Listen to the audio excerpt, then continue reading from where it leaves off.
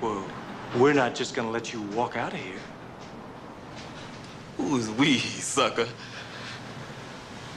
Smith and Wesson and me.